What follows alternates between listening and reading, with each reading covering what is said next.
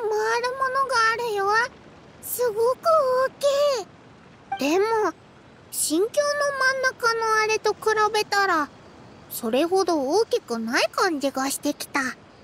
これってとっても大事な装置なんだよね。クレガイアお兄ちゃんのお話覚えてるよ。似た話から他のことを推測できるなんてクレイア本当に賢いな。そうですね。こちらはおそらく回転軸を利用して軌道を切り替えるための装置でしょう。そうだ。本来ならこの装置に触れさえすれば中枢部が回ってくれるはずなんだが。ふん。どうやらジェローニのやつまだ修理できてなかったらしいな。まったく口だけは立派なやつだ。そのジェローニさんという方がフェルディナンドさんの兄弟のうちのお一人なのですねそうなんだ。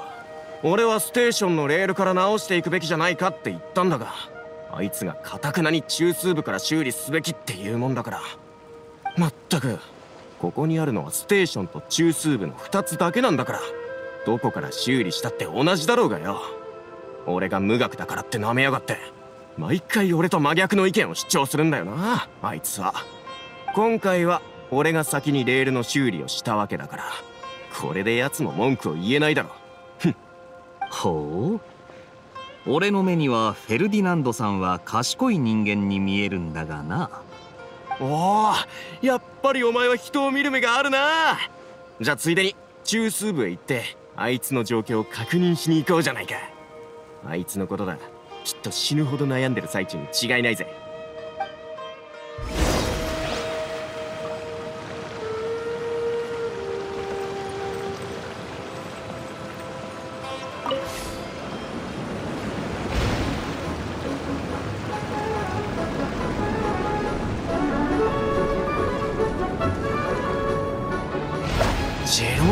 の話をしただけでムカついてきた。砂嵐の中にいた時も同じで俺が東に行くって言ったらあいつは西に行くって言い出しやがったんだ。砂嵐？その後どうなったんだ？その後俺たちは己の選んだ方向に行ったんだ。だが結局お互い砂まみれになっちまってさ心境に招き入れられてなんとか一命を取り留めた。よ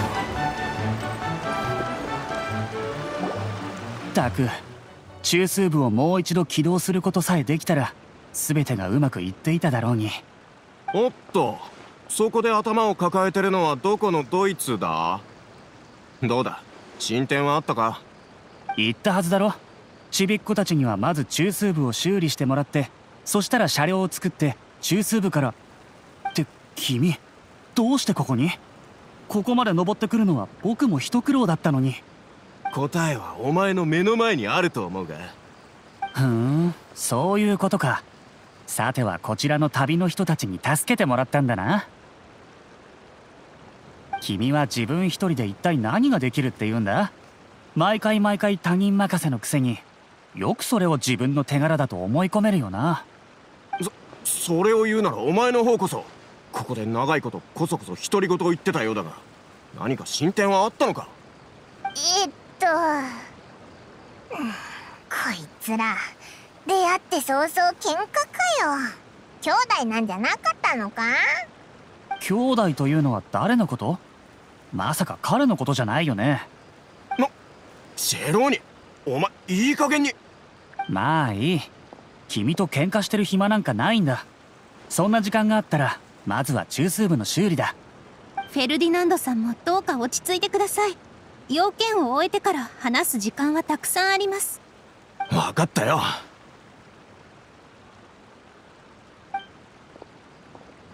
お見苦しいところを見せてしまった。僕はジェローニこのエリアのメンテナンスを担当する者のうちの一人だ。レールの修理は君たちのおかげだったんだね。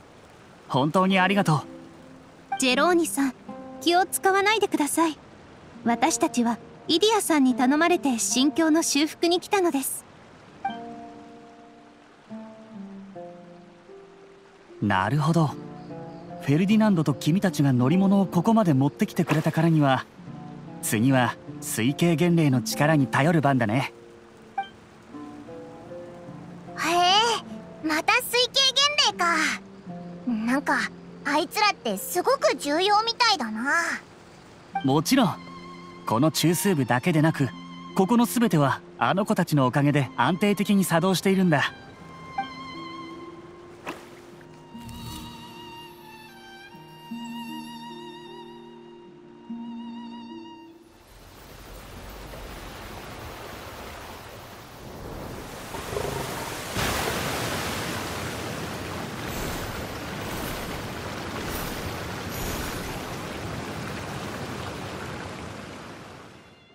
よし。これでレールの大半と中枢部は直せたってことだな。誰のおかげだと思ってるんだ？もちろん旅の人たちのおかげに決まってる。その質問の仕方。まさか君のおかげだなんて思ってないよな。お前いずれにしてもお前のおかげじゃないんだからな。毎回あれこれ分析してペラペラと喋る割に何にもできやしないんだ。いやいや君ほどでもないよ。いつも考えるより先に衝動で数々の過ちを犯してしまう君にはかなわないさ。僕とハットがいなかったら誰が毎回尻拭いをしてくれるんだろうね。ハットといえばあいつはどこだ？君と一緒じゃなかったのか？朝早く出かけたからお前と一緒にいるんだと思ってたが。君ってやつは出かける前に確認することすらできないのか？何なんだよお前だってあいつに気づいてなかったくせに何を偉そうに。うークレイ。クレイわかんないよ。誰も悪いことしていないのにどうして喧嘩する俺はただそいつのその知ったかぶりが気に入らないだけだ知ったかぶりだって？毎回皮肉ばかり言っているのは誰だ？二人ともそこら辺にしといてくれないか。どうしても自分の口をコントロールできないっていうなら場所を変えることをおすすめするぜ。それとも頭を冷やすのに俺の助けが必要か？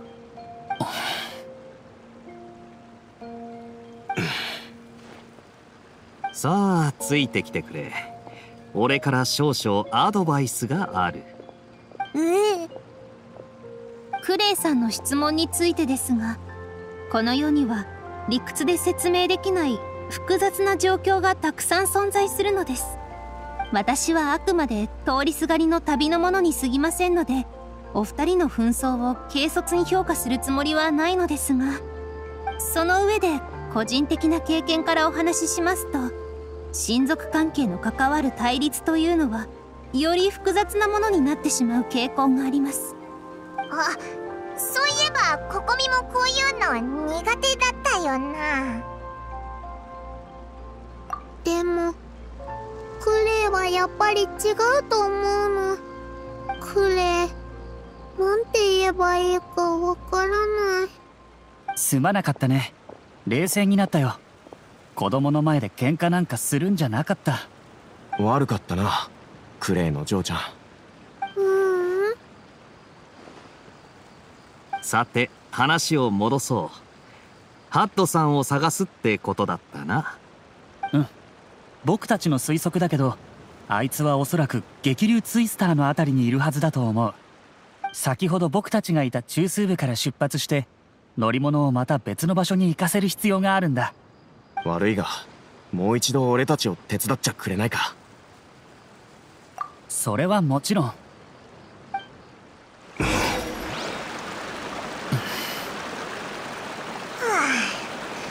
兄弟のくせになんでこんなことになってるんだよ。兄弟っていうのはもっと親しい関係のはずだろ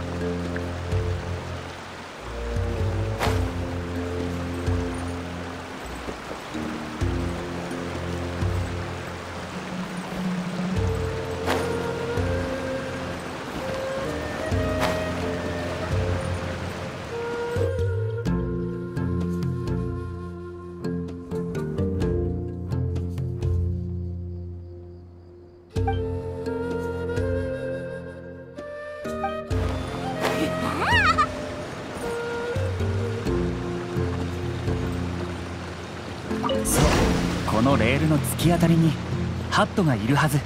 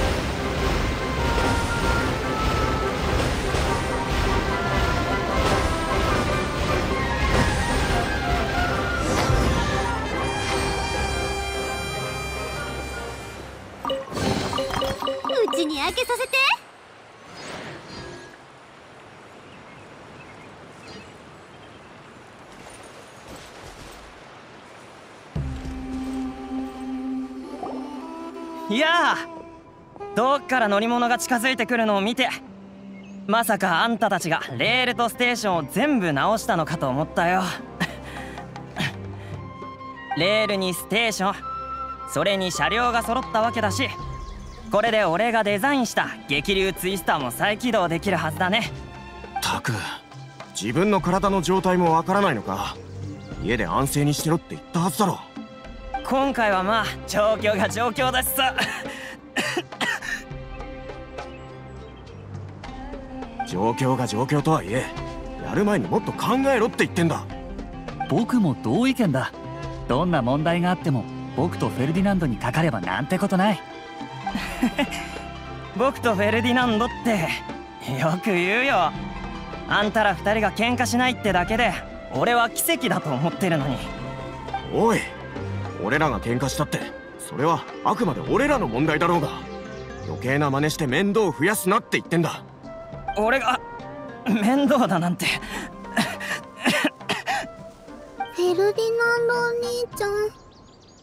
あはいえっとなお兄ちゃんたちは喧嘩してるわけじゃないぞ。これはその客観的に事実を述べてるっていうか。でもフェルディナンドお兄ちゃんとジェローニお兄ちゃんはハットお兄ちゃんのことを心配してるんでしょ？どうしてちゃんと話さないの？ガイアお兄ちゃんもねクレイを心配することがあるんだよ。でもガイアお兄ちゃんはクレイのことを責めたりしないの。そうだな。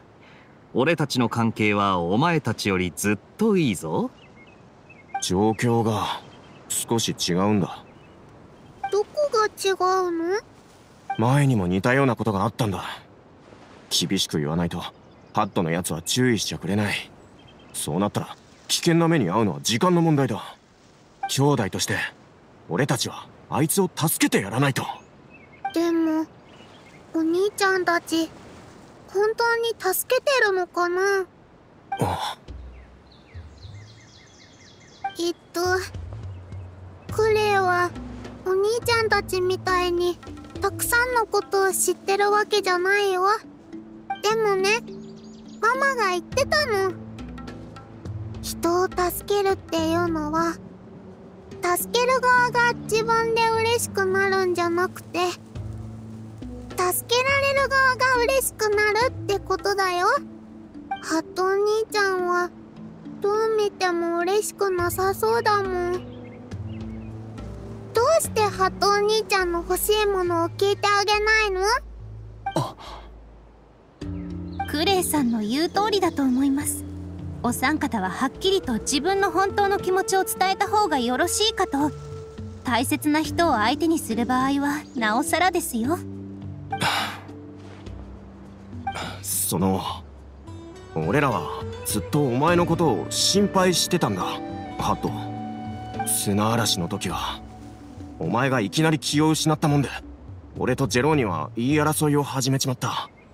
それで結局3人一緒にこの心境に落ちちまったんだ。あの時みたいなことがまた起こるんじゃないかって心配だった。次にお前が気を失った時にもし誰もそばにいてやれなかったらって思うだけで。分かってたさ。でも心境の環境は砂漠のと違うだろ。ここは安全だ。もし俺がトラブルを真っ先に解決できたらあんたらも喧嘩せずに済むんじゃないかって思ったんだ。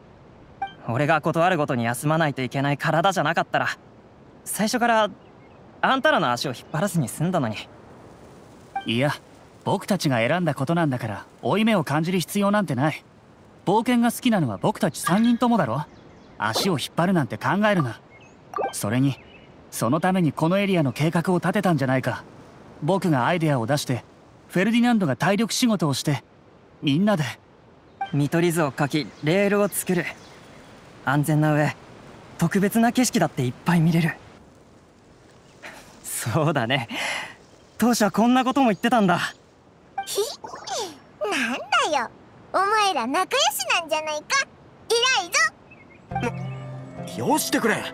今そんな風に言われたらまるで俺がそう褒められたくて言ったみたいじゃないか。ビュンビュン爆速車面白かったよ。フェルディナンドお兄ち本当か？ものすごく速い乗り物をレールに沿って走らせるってアイデアは僕が考えたんだよ。ゃんどうやって考えたの？ジローニお兄ちゃんすごい。クレイもっと面白い爆速車に乗りたくないか？なりたいこいつらいきなりクレイのご機嫌取りに夢中になり始めたぞ。クレイ本人にはまだわからないだろうが子供特有の純粋さっていうのはもともと強い感染力と癒しの力を秘めているもんさ。ねえそっちのみんなも一緒に来てよ乗り物の中の水系原理に手伝ってもらう必要があるんだ。